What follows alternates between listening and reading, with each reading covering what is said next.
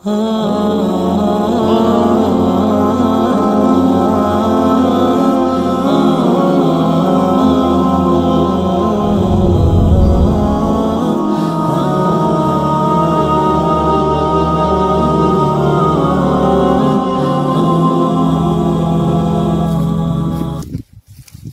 बार तो काफ़ी अच्छी फ़सल हो गई है। लगता है अल्लाह की दुआ से सारा कर्जा उतर जाएगा।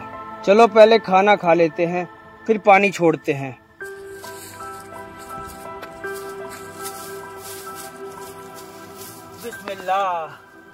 आज तो मियाँ जी की सारी फ़सल उखाड़ दी अरे ये तो मियाँ जी की फ़सल है। अरे ये कौन मियाँ जी की फ़सल उखाड़ रहा है? चल मियाँ जी का क्या काम मियाँ जी मियाँ जी तुम्हारी फ़सल उखाड़ दी सारी।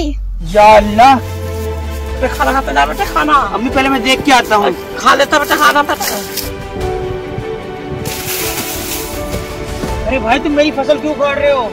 मियाँ जी तुमने कुछ कर्जा लिया था इस मारे हम तुम्हारी फ़सल फाड़ रहे हैं। मुझे दो दिन की मोहलत दे दो। या अल्लाह दो दिन की मोहलत तो मांग ली पर पैसे का इंतज़ाम कैसे होगा? चलो जैसी अल्लाह की मर्ज़ी। या अल्लाह फ़र्ज़? इसमें तो इतने पैसे हैं कि मेरा कर्जा उतर जाएगा। और अगर आज मैंने ये पर्स रखा तो अल्लाह मुझे कभी माफ़ नहीं करेगा। इसे वापस भाईजान सुनिए।